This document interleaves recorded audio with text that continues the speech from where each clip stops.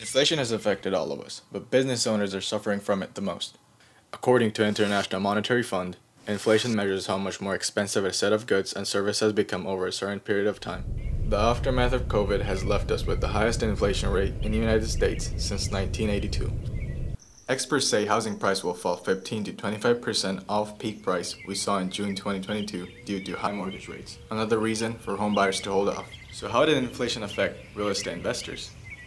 Started to feel like a couple months ago when I list my property um, and I wasn't getting really good uh, feedback or not getting an offer. That's when I realized, hey, market is going really down, so I gotta be super careful. The things I do different now, I look for the comps, make sure I have a strong comps. That being said, if the house, I think the value is of 500,000, I put a 50,000 less, I'll consider as a $450,000. So that way if the market keeps changing, I still have a room to play where I don't lose money.